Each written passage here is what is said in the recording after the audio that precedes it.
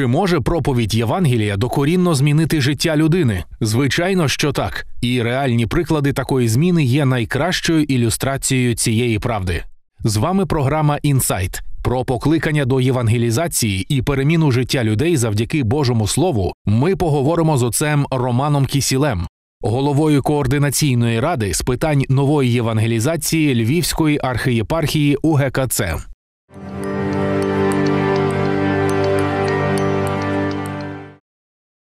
Тесть Роман, слава Ісусу Христу! Слава навіки! Вітаю вас в нашій студії. Е, Мені дуже приємно, що ми маємо сьогодні нагоду з вами поспілкуватися.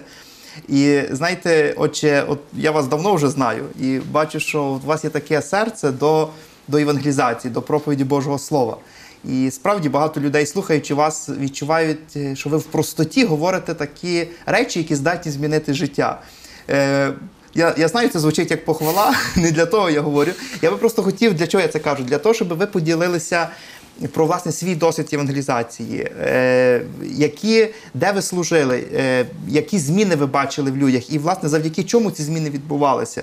Тому що я думаю, що для сучасного світу це і дуже важливо. Багато матерів сьогодні питають, що нам робити з нашими дітьми.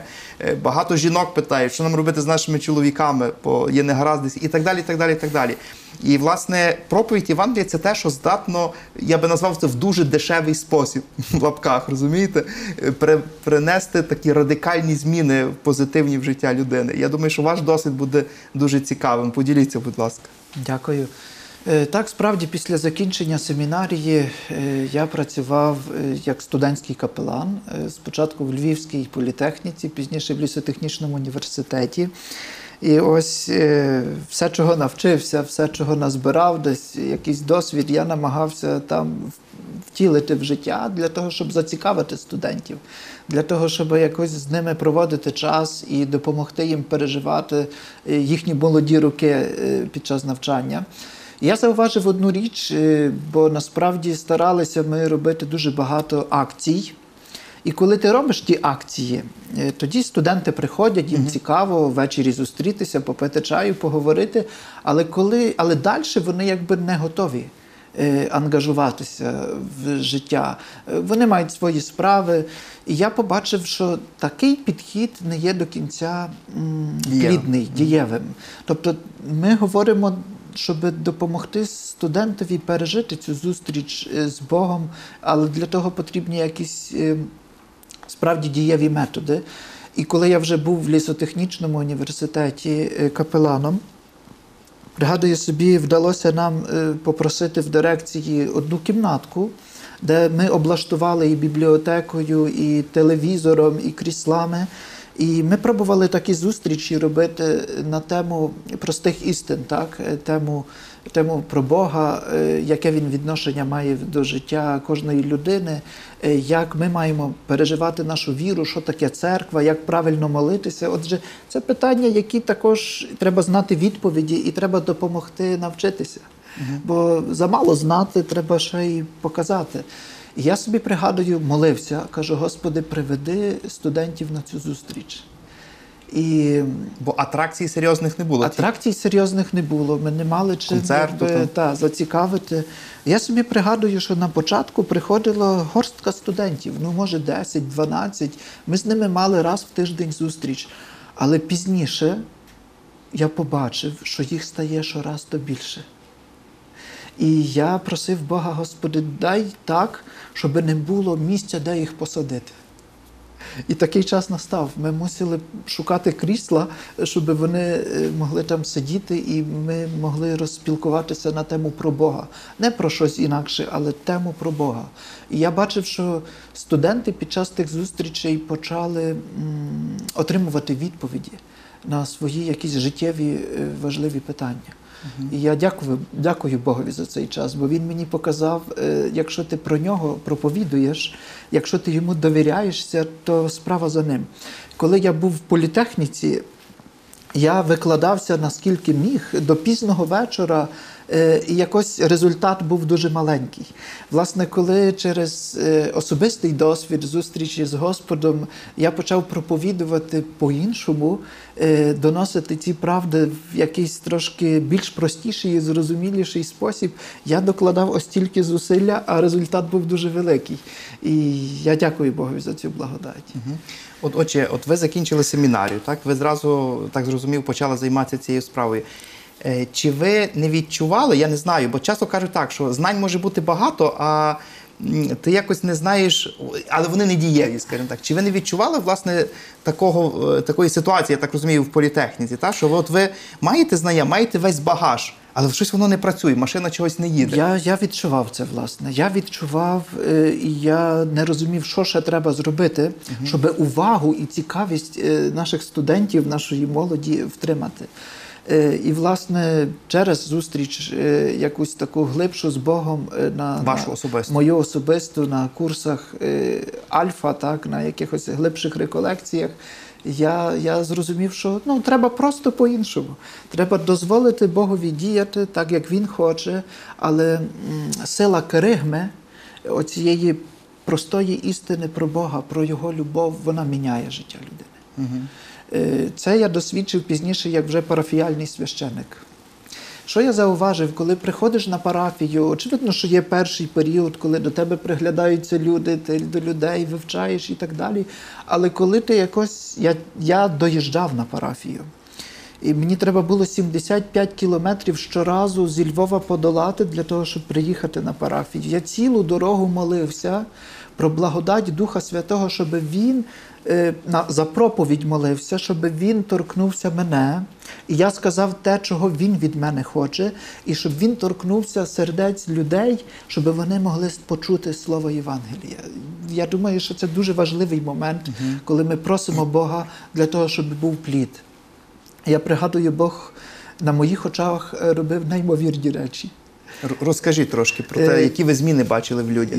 Я бачив, е, по-перше, що люди з цікавістю слухають Євангеліє. Я старався е, так вірю, що Бог давав е, на, на, на проповідь е, речі, які стосуються їхнього практичного життя, але в світлі Євангелія. Якось їм так по-простому доносити. Я побачив, що люди почали більше відчувати спрагу за Богом. Черги до сповіді стали більші. Іноді треба було кілька годин потратити, щоб посповідати багато людей. Е, Люди почали причащатися.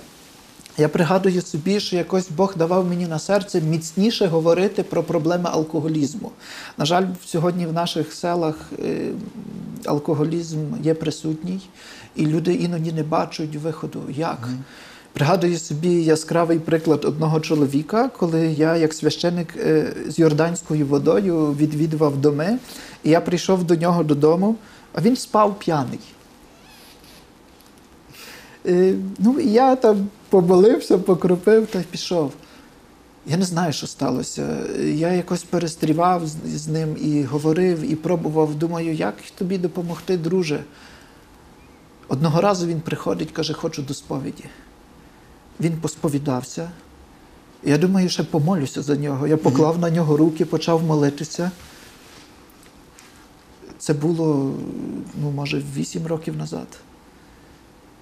Він кардинально змінив своє життя. Одна сповідь, одна молитва.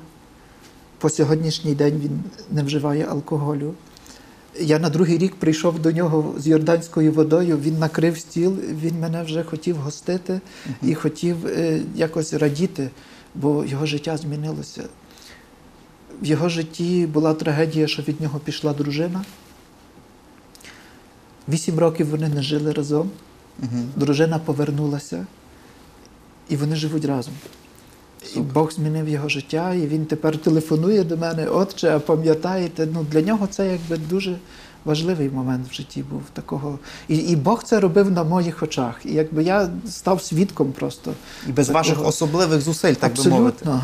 Пригадую собі одну сім'ю, коли я прийшов тільки на парафію, е, Бог якось почав діяти в житті цієї сім'ї. Вони нормально ходили до церкви, як і всі, але якби Не часто сповідалися, старалися, ну як і всі, як, як в нас прийнято на Пасху. Е, так чомусь така традиція дивна, тільки на Пасху. Я пригадую собі, коли ми починали глибше говорити про Бога, про його дію в житті. е, Перше зацікавився чоловік. Е, Я з ним мав розмову. Пізніше порадив йому їхати на школу Марії. Він пройшов там ті реколекції. Коли він повернувся додому, він повернувся іншим. Він кожної суботи запрошував мене додому. Його дружина готувала вечерю, і ми до першої ночі говорили про Бога. І він йому тоді було 42 роки, і він сказав, що в мене таке відчуття, що я 42 роки не їв.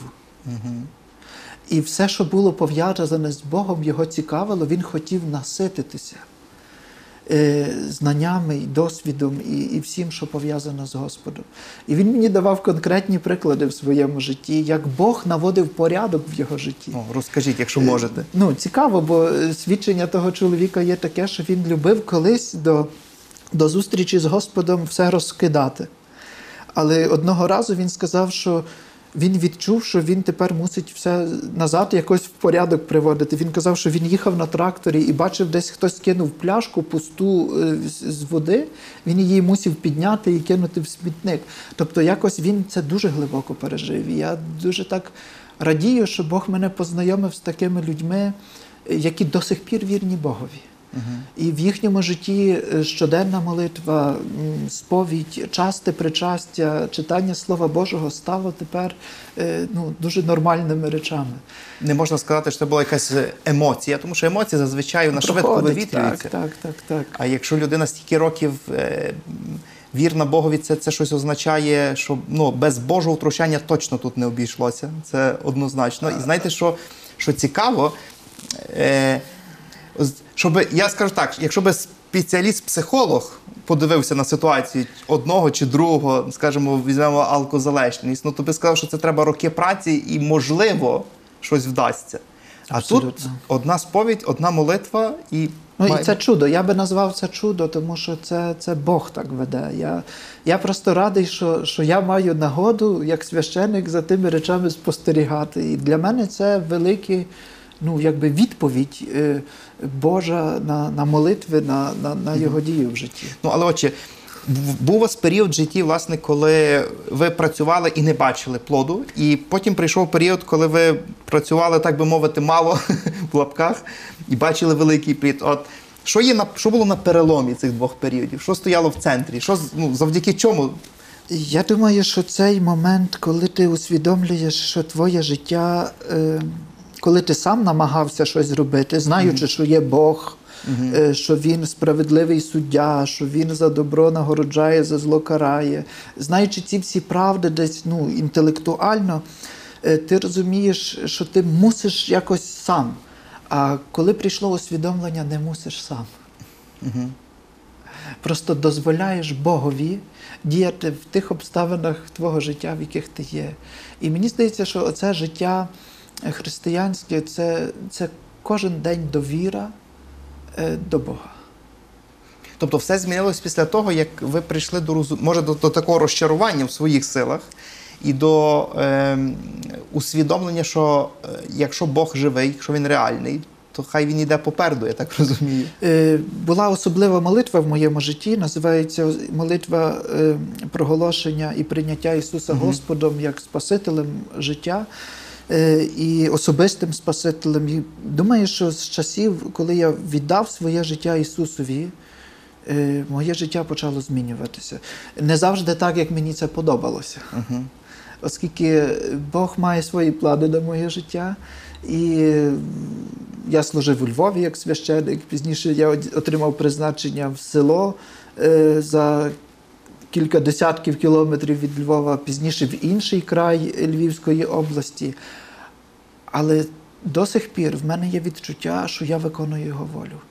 Навіть якщо я на початку не розумію, що це його план, якийсь етап мого життя, чи в одному місці служіння, чи в іншому, е, в кінці я розумію, що, що, це, що це була його воля. І я, я дякую Богові за це. Мгм. Я думаю, що це дуже важливі слова, які ви кажете, що власне ці зміни можна пов'язати з, з цим вашим кроком віддати життя Ісусові, проголосити його Господом. Бо Господь означає господар, Він вирішує тепер.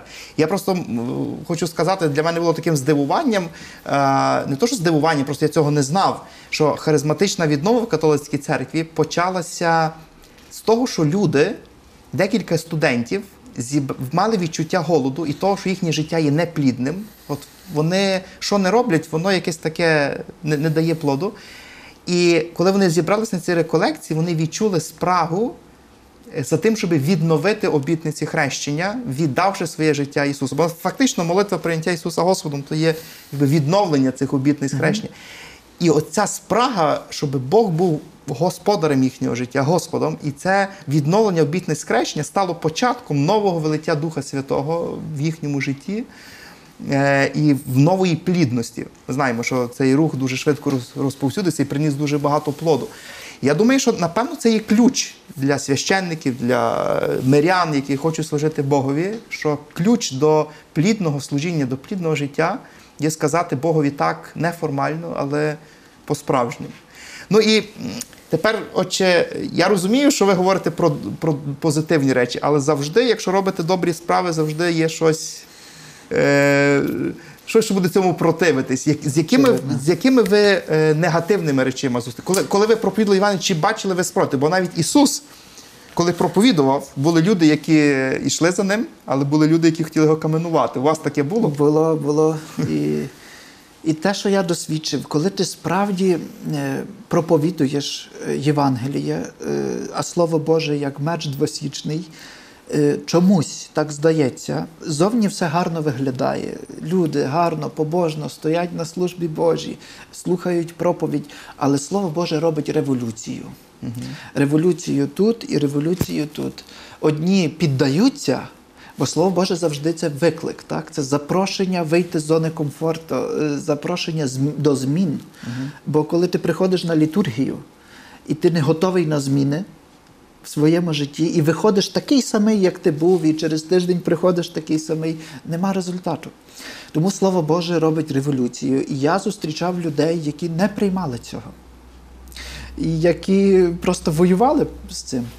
Вони, ну, можливо, в очі не говорили, але завжди є якась така опозиція, і я вже маю досвід на, на кількох парафіях, коли ти проповідуєш, е, парафія чомусь стає невидимо поділена.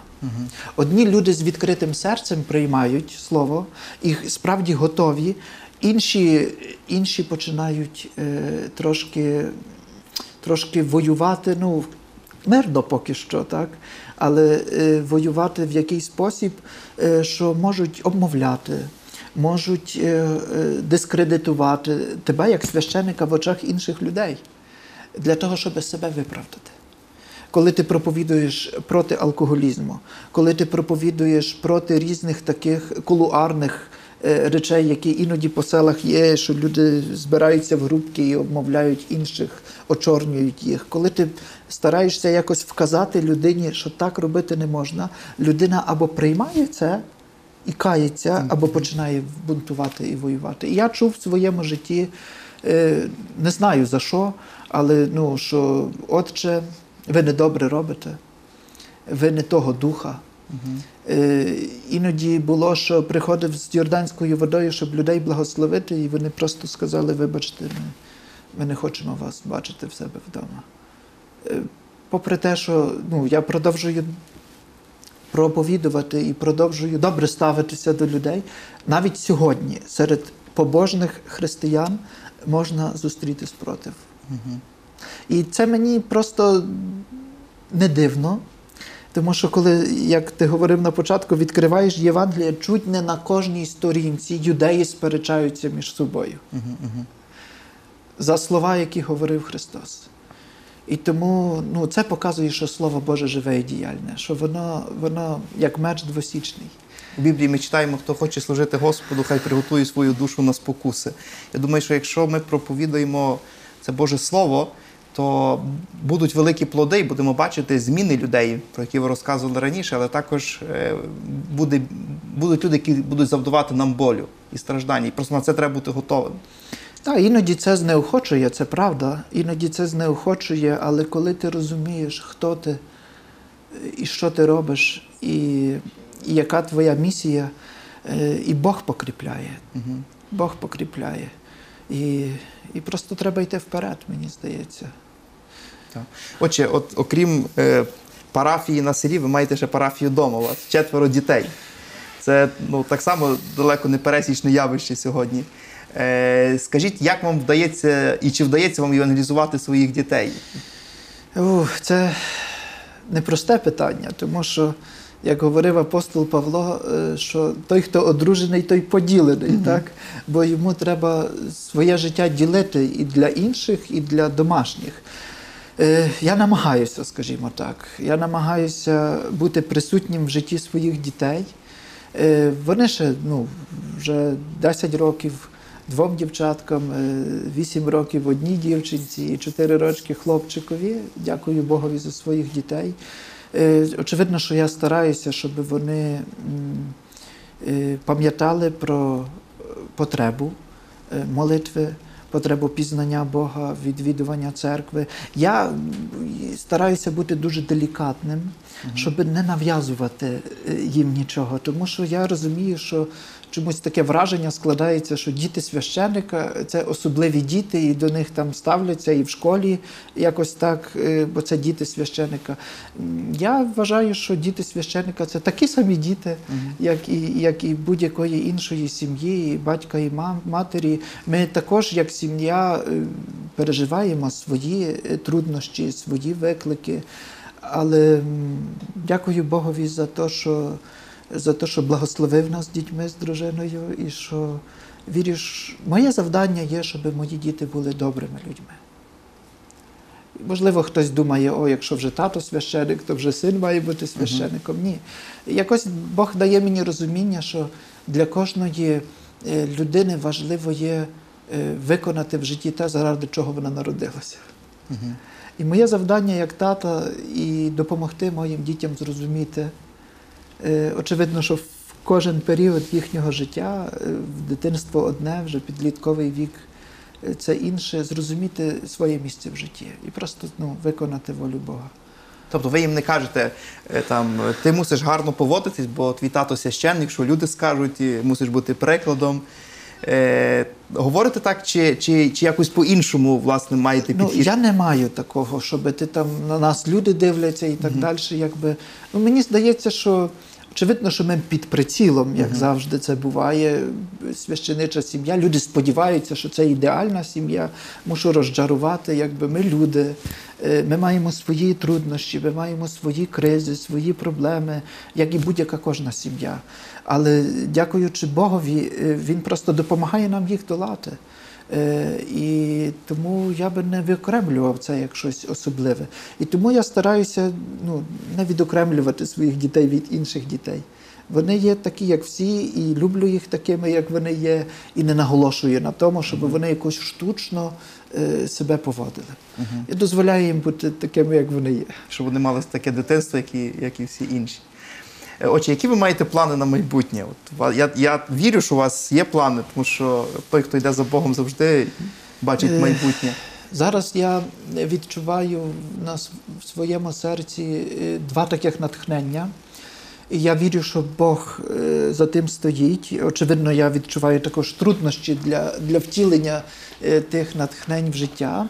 Перше, е, там, де я служу зараз е, на парафіях, маю призначення на третю парафію, і ми з нашими е, вірними починаємо будувати храм е, дерев'яний храм для того, щоб довкола того храму об'єдналися люди і могло в цій парафії бути життя. Це є одне натхнення, яке я ношу в серці, щоб справді цей храм побудувати, а не так храм, як спільноту.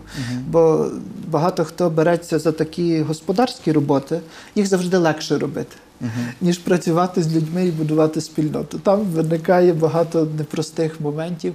Е, Я вірю, що Бог веде. і що нам вдасться і одне, і друге збудувати храм і, і, і побудувати міцну спільноту. Друге натхнення, яке маю в своєму служінні, це е, як голова координаційної ради. е, Ми вже говорили про створення центру нової євангелізації у Львівських, Львівській архієпархії. І завданням того центру є допомагати в розвитку школам євангелізації і рухам євангелізації.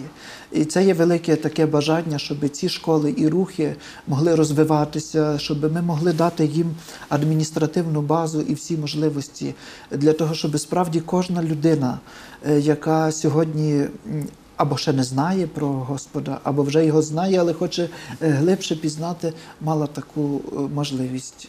Це дві речі, які ношу в своєму серці, про які молюся, і сподіваюся, що це стане реальністю. Отже, я вам щиро бажаю, щоб це справді стало реальністю, щоб люди хоча б мали шанс досвідчити, як Бог може змінити життя. І ви добре сказали е, щодо сім'ї, що ми, ми, як і звичайні люди, маємо свої проблеми, але Бог нам допомагає долати. І це правда, християни це не ті, хто не мають проблем. Вони мають такі самі проблеми, як всі інші, але християни це ті, які мають підтримку Бога в їх подоланні. Я вам бажаю, щоб ви завжди відчували цю міцну руку Бога, коли будете зустрічатися з проблемами, щоб ви ніколи не знеохочувалися і завжди дивилися на тих, чиє життя змінилось завдяки Божій благодаті вашій проповіді.